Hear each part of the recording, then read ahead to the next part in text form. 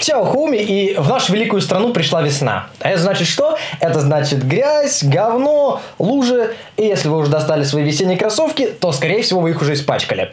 Именно поэтому мы сегодня на примере данного замечательного вида кроссовок покажу вам, как их вернуть к жизни. Нам поможет в этом, конечно же, чтобы вы думали,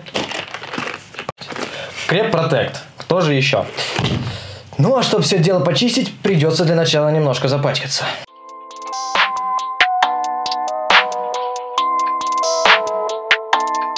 That's ISO. Rack it up, rack it up. I got a bit of the bank to make me a safe house. Shake it up, shake it up. She got her hands on her knees and she bringing the cake out. Smoke it up, smoke it up. I got some gas, some packs. I'm up in the greenhouse. Ball it up, ball it up. I'm with the gang. We taking shots off the rebound. Fucking my post, posters, say now. I've been humble too long. Yeah. Tell them all to stay calm. Yeah. Tell them all to move on. Yeah. Fucking my posters, say now. They be lost in the sauce. Yeah. Took a loss, that's your loss. Yeah. Had to get my point across. Yeah. Но для того, чтобы нас не уличили в том, что якобы грязь свежая, для начала мы их немножко запечем.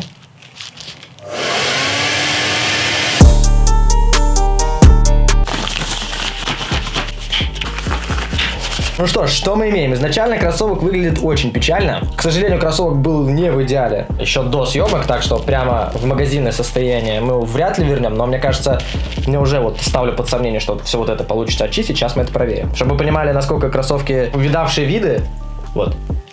Теперь начинается магия. Ах, свежайший набор крепа. Это, кстати, коллекционочка NBA. Интересно, тряпка какая-нибудь необычная? Да. Тряпочка NBA креп, премиум браш и, конечно же, само чистящее средство. А, чуть не забыл. Это вот, кстати, как бы смешно не было, это корыца, но на самом деле, э, если у вас его нет, то найти подобную такую вот небольшую емкость достаточно сложно, поэтому очень классно, что они кладут его в комплекте.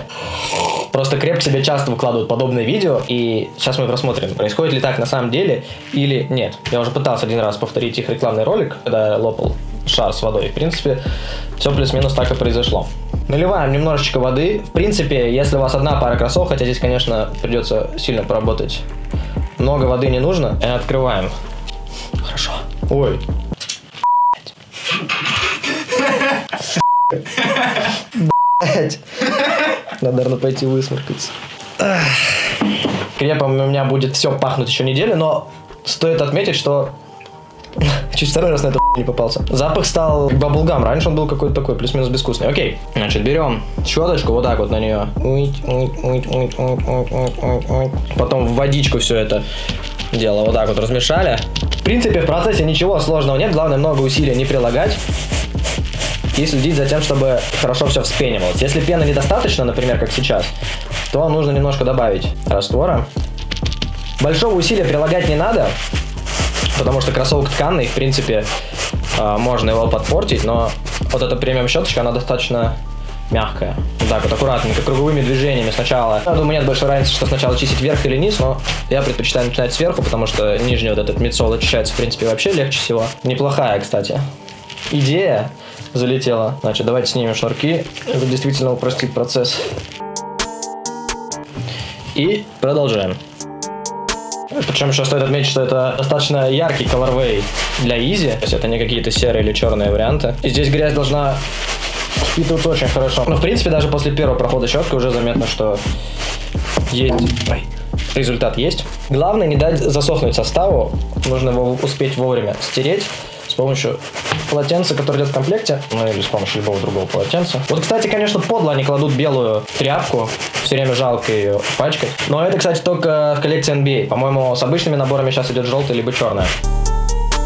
Так, пройдемся разочек по мидсолу, чтобы снять оставшуюся основную крупную грязь. Так, ну насчет подошвы, я надеюсь, все понимают, что это ни одно средство в мире не очистит, поэтому я даже пытаться не буду. Но мидсол уже выглядит плюс-минус похожим на изначальный. Работаем дальше.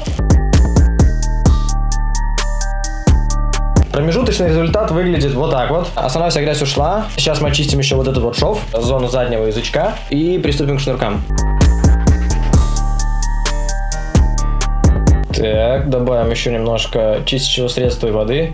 Ну, естественно, пара у вас такая грязная вряд ли будет. И по моему личному опыту, ну вот одной такой вот прохода по щеточке достаточно на 2-3, может быть даже 4 пары кроссовок, если они у вас легко загрязнены. И в принципе кажется, что 100 миллилитров это практически ни о чем, но у меня вот такой вот флакона, э, я, конечно, пары стараюсь максимально не пачкать, но в принципе его хватает, наверное, где-то, ну я не знаю, может быть даже на год, ну на полгода точно вам одного чистящего средства хватит. Соответственно, чем больше средств вы добавите, чем гуще у вас будет пена и тем лучше будет эффект. Если загрязнение какое-то не сильное, в принципе, может хватить и небольшого количества, но в нашем случае, конечно, чем больше, тем лучше.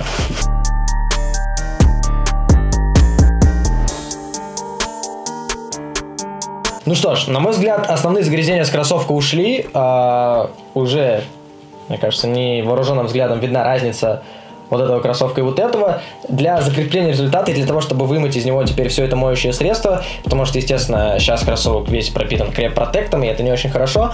Нужно обязательно кроссовки э, помыть в стиральной машинке с любым, в принципе, стирающим порошком для цветного белья, ну, естественно, там не с каким-то, наверное, самым дешевым, но любые там капсулы. Э, для стиральной машинки, я, по крайней мере, стираю, и ничего с вашим кроссовком не будет. Я поначалу тоже переживал, но главное стирать на самом легком режиме, без отжима и с минимальной температурой. Если вы все эти три правила будете соблюдать, то кроссовок у вас точно не испортится. Ну и, кстати, да, секундочку.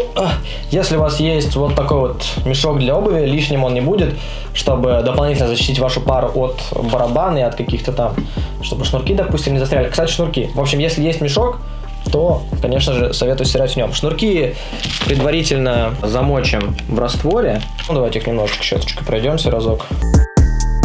Собственно, протерли их э, щеточкой, кидаем в кроссовок и отправляем в стиральную машинку на самый легкий режим, без отжима и на самую низкую температуру.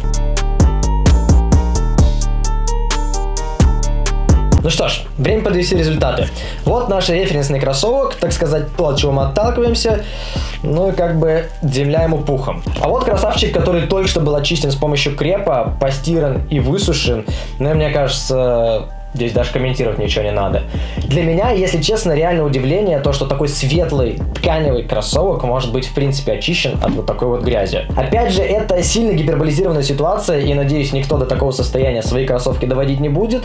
Но получилось ли у меня повторить рекламный ролик? Думаю, что да. Да, Наверное, есть некие потемнения, но опять же напомню, что проводилось все это, скажем так, не в лабораторных условиях. Кроссовок изначально был а, не идеальный, не новый, кроссовок был сильно ношенный, и это можно заметить по аутсоулу. Ну и опять же, из вот этого вот в это ну что ж, жду ваше мнение по поводу этих двух кроссовок в комментариях. И хочу сказать, что теперь на аутостоке можно официально купить любое средство креп протекта. При заказе кроссовок можете добавить ластик, чистилки, салфетки, а можете и все вместе. Удобно заказали кроссовки, добавили крепы и содержите их всегда в чистоте. Ну что ж, с вами был я, Никита Пасечный. Не доводите свои кроссовки до такого и ухаживайте за ними и пользуйтесь правильными средствами. Всем пока.